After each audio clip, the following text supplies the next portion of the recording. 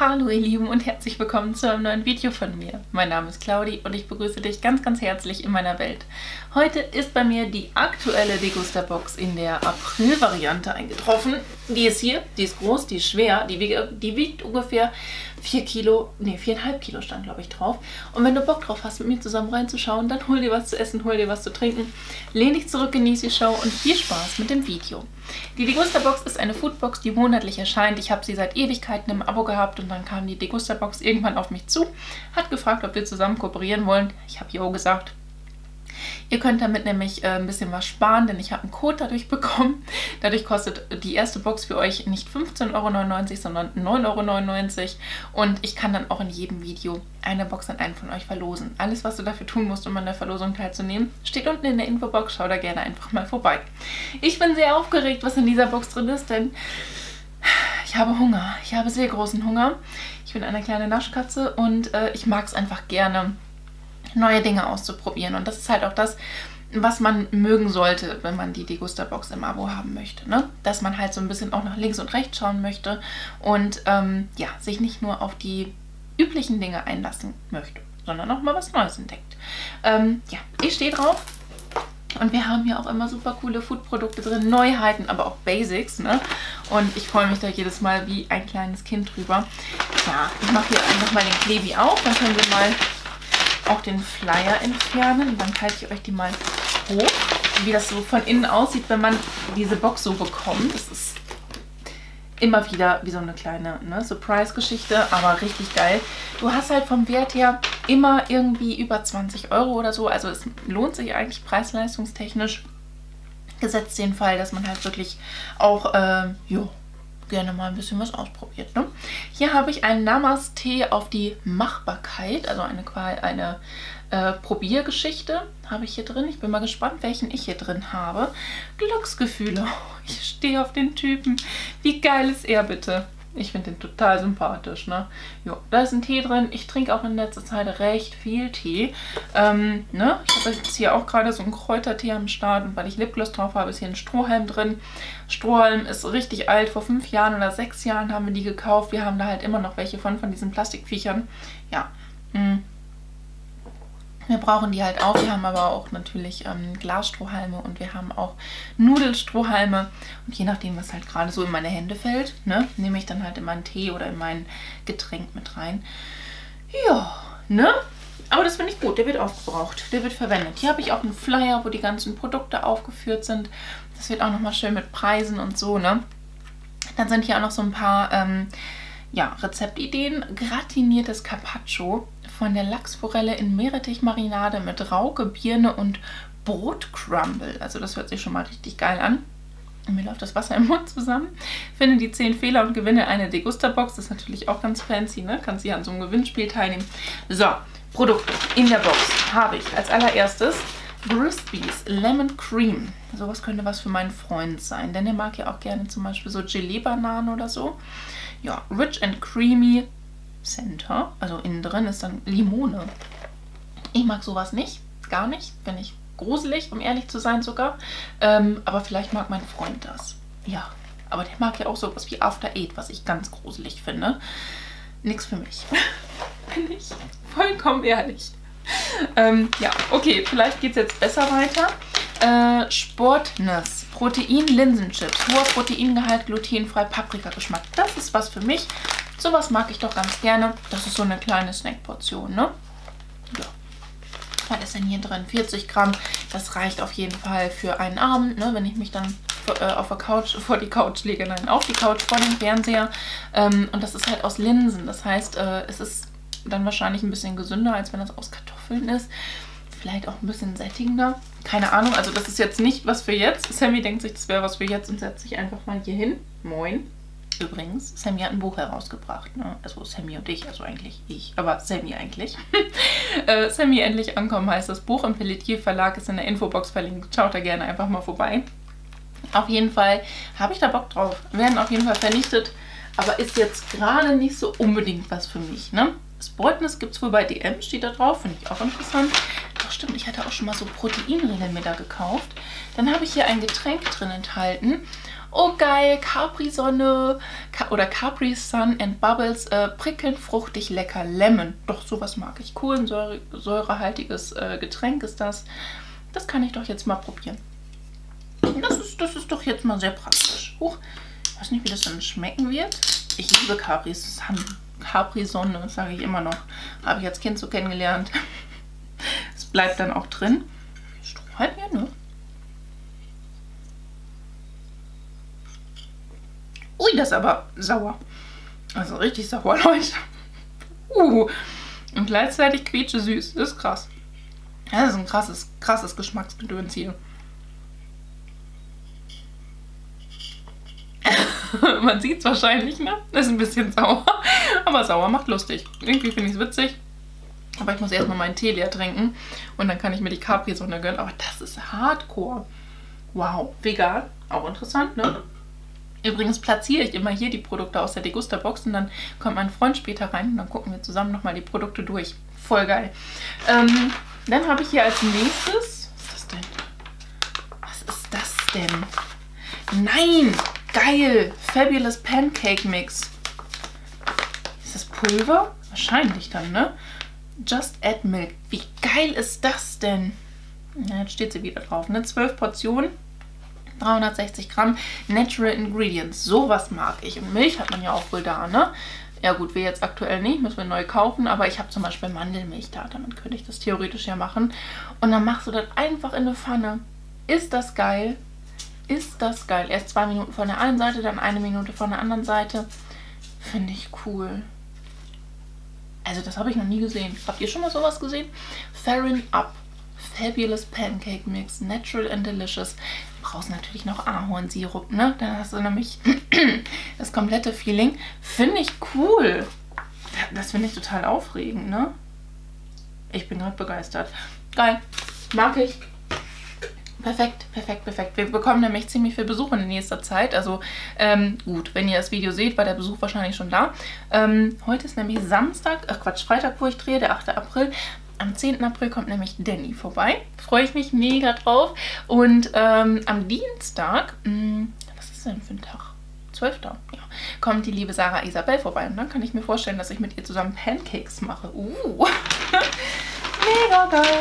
Okay, ähm, was have we nu? Äh, Vadam India Turmeric Sampler. Indian Superfood with pow powerful Kurkumin, also mit Kurkuma. Ein Tee, Herbal Tea. Ich mag das nicht so gerne. Vier Teebeutel sind hier drin. Also ich bin jetzt nicht so der Ultra-Kurkuma-Fan, was Tee angeht. Ich habe jetzt super viel in letzter Zeit diese goldene Milch getrunken. Die habe ich mir echt reingeprügelt. Ne? Das hat halt so ein kleines Geschmäckle hinterlassen in mir drin dass ich leider nicht der Ultra-Fan von Kurkuma bin. Ist wie das. Und ähm, ja, das wird weiter wandern. Ne? Ich habe Freundinnen, die mögen das bestimmt oder meine Mom oder so. Große Familie, da frage ich einfach mal nach. Ähm, so, wow. Ähm, hier ist noch so viel drin. Okay, das, das trinke ich jetzt aber nicht an. Das ist von Fachinger. Milde Orange. Milder Orangensaft aus Orangensaftkonzentrat.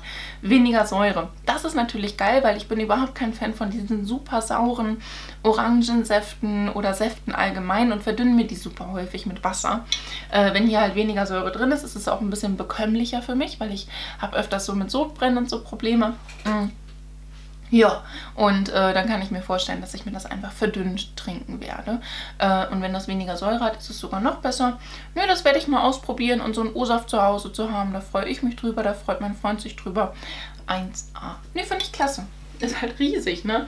Und ich habe ja gerade diese wundervolle Capri-Sonne offen. Capri-Sun. ist so sauer. Dann habe ich hier drin äh, Vegan Raw Chocolate Salted Toffee Caramel Salé Little Love. Okay, das ist einfach Schokolade mit Kokosnussblüten, Nektar. Okay, ja. Wie schmeckt denn sowas? Wir, das, das können wir doch mal kurz ein bisschen anbeißen, oder? Magen knurrt gerade so hart, Leute. Der sagt, ey, du kannst ja nicht ständig irgendwelche Essenssachen auspacken und mir nichts geben. Das ist nicht nett. Ja, und da steht halt auch wirklich Little Love drauf. Probier ich doch mal.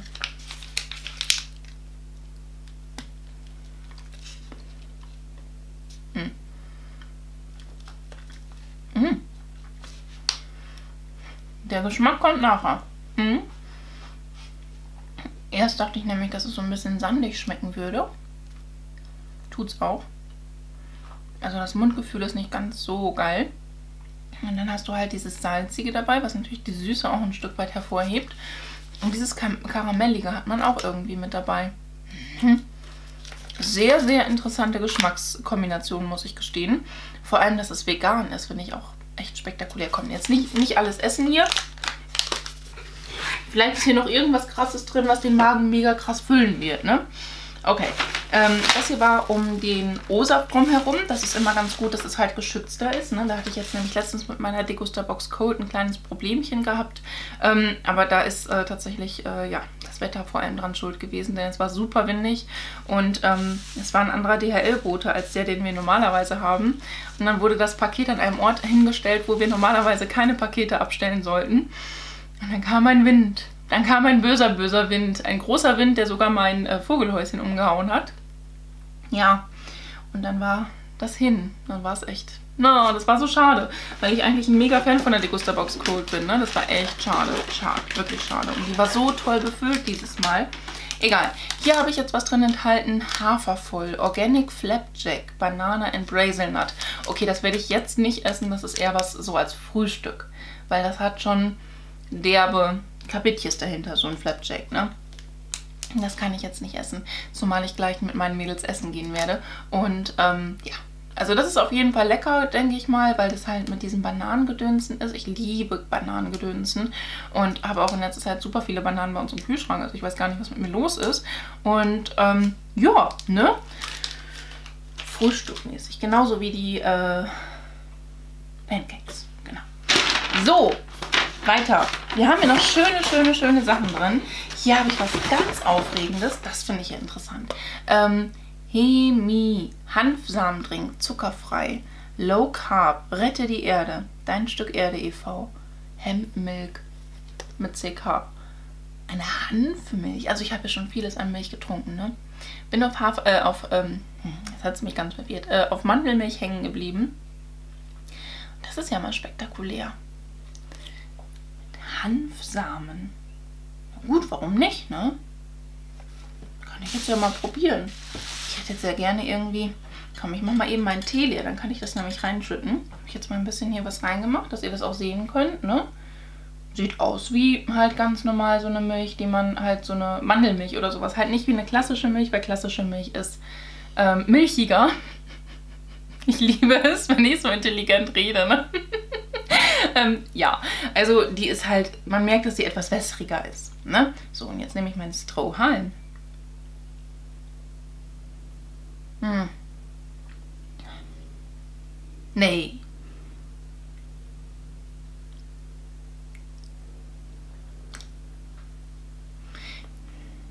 Hat so einen grasig, also rasigen, ne, wie Rasen, Nachgeschmack.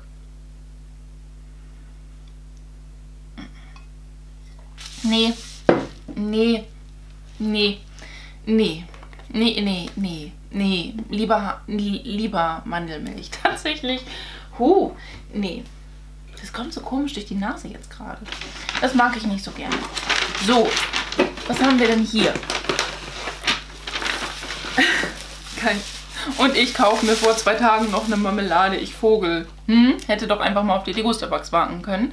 Dabo Zucker reduziert, ein Drittel weniger Zucker, äh, mit 80% Fruchtanteil. Hier haben wir eine Erdbeermarmelade drin. Finde ich klasse, kann ich wirklich gut gebrauchen. Ich esse in letzter Zeit halt auch wirklich häufiger so klassisch morgens Frühstück mit Brot, abends Abendbrot. Ne? Also wirklich ganz klassisch und nicht dieses äh, TK-Pizza mal eben in den Ofen oder mal eben so ein bisschen Fertignahrung oder so, sondern wirklich na, sinnvolle Geschichten haue ich in mich rein. Und äh, ja, die mag ich. Die hatte ich, glaube ich, auch schon mal da. War das Erdbeere oder hatte ich die als in einer anderen Version? Das weiß ich nicht. Mochte ich auf jeden Fall. So, wir haben noch was hier drin. Es ist ganz schön, ganz schön fein gefüllt diesmal. Das kann man echt nicht anders sagen. Äh, oh, warte. Ein bisschen mehr sogar. Drei Sachen sind das. Ähm, ganz schön viel Glassachen. Also einmal habe ich hier von Italian for Flavor Gia Sun-Dried Tom Tomato Püree. Das ist hier in so einer Tube. Einfach, huch, ist das wie ähm, Tomatenmark? Weiß ich jetzt nicht. Ne? 80 Gramm sind hier drin. Kann man auf jeden Fall gut gebrauchen. Ne? Für eine schöne, schnelle Tomatensoße nimmst du dir einfach ein bisschen Tomatenmark äh, und machst das mit einer Mehlschwitze oder so. Dann hast du da auf jeden Fall schon mal was Leckeres. Finde ich cool. Und dann habe ich hier was, das ist ganz schön groß, Leute. Natürliche Wurzelwürze von Kochs, Sahne, Meerrettich, verbesserte Rezeptur. Hm, ich weiß gar nicht, wo wir das damals viel drin hatten. Ich glaube, irgendeinen Dip oder so haben mein Freund und ich öfters mal mit diesem Sahne, Meerrettich gemacht. Oder auf Fisch ist es ja auch immer ganz geil, ne? Muss man mal gucken, wie wir das so voneinander kriegen. Finde ich aber cool, mag ich gerne leihen. Das ist eine ganz, ganz leckere Geschichte. Diese Sahne, Meerrettich, Gedöns. Mmh passt jetzt auch, wenn die Grillsaison eröffnet wird. Mein Freund hat nämlich jetzt die Woche vor Ostern Urlaub und dann sagt er auch, es wird gegrillt, Schätzelein. Da habe ich gesagt, ja, machen wir. Ähm, hier habe ich jetzt ein Bier noch mit dabei. Das ist natürlich mit fruchtiger Zitrone, Erdinger Brauhaus Bayern, Naturradler. Ist super. Äh, 2,6% Alkohol sind hier drin enthalten. Das ist eine 50-50 Mischung, also 50% Erdinger, 50% von diesem, ja, äh, was ist das dann? Spreit oder so wird dann ja meistens genommen, ne? Äh, ja, Zitronensaft, Mischgetränk, genau. Und, ähm, ne? Jo, ist auf jeden Fall ab und an mal, dass wir eine Flasche Bier oder sowas mit dabei haben oder eine Flasche Wein. Ähm, ich bin jetzt wieder mal auf dem Trip, dass ich halt keinen Alkohol trinke. Deswegen wird das weiterwandern, aber es ist nicht schlimm. Da haben wir in unserem Umfeld genug Abnehmer oder dass dann halt auch mal mein Papa oder so vorbeikommt, ne? Und ähm, das dann mal probiert. Heidenei. Das war mal eine sehr, sehr sehr, sehr spezielle Auswahl. Hier haben wir jetzt nicht so diese klassischen Basic-Produkte drin, abgesehen von der Erdbeermarmelade, aber ansonsten war das ja alles so speziell, ne? Also Hanf, Milch und so, voll krass. Pancakes aus dem Quetschi-Vieh, mega geil, nur noch mit Milch dabei, voll cool. Also hat mir gefallen. Man hätte übrigens bei diesen Pancakes noch andere Varianten drin haben können. Ähm, und zwar, das wäre auch geil gewesen, Waffeln oder Brownies, ne? Ähm, diesen Flapjack hätte man auch in äh, anderen Geschmacksrichtungen haben können. Cocoa Nip, Hazelnut, nee, Cocoa Nip und Hazelnut, Berry and Cashew, Kia und Pistachio oder Banana und Brazelnut, was ich halt habe. Ähm, tatsächlich dieses Vicenzi Crispy Lemon ist das Produkt des Monats. Ja, leider nicht so ganz mein Geschmack. Von dem Fachinger ähm, hätte, hätte man auch noch einen milden, milden Multi drin haben können. Das wäre auch gut gewesen. Und man hätte auch noch äh, den Hanfsamendrink in Original drin haben können. Ich habe jetzt die zuckerfreie Variante. Ja, ne, also ab und an sind da mal andere Variationen möglich, aber im Großen und Ganzen ist das, was man drin hat, eigentlich recht identisch. Ich mag die Degusta-Box, fand sie wie gesagt dieses Mal sehr speziell, aber trotzdem geil. Also lohnt sich immer wieder, immer wieder. Es ist einfach total cool, mal auf eine andere Reise genommen zu werden und auch wenn ich das Gesicht ein bisschen verziehe, letztendlich finde ich es cool. Wirklich, ich feiere das jedes Mal. so, ihr Lieben, das war es jetzt hier von mir und dem Unboxing der aktuellen Degusta-Box. Und wenn dir mein Video gefallen hat, dann lass mir doch sehr, sehr gerne einen Daumen nach oben da. Würde ich mich mega drüber freuen.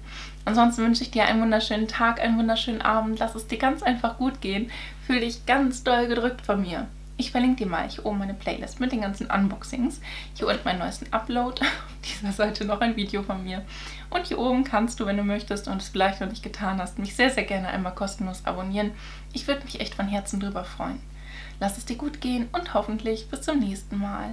Ciao!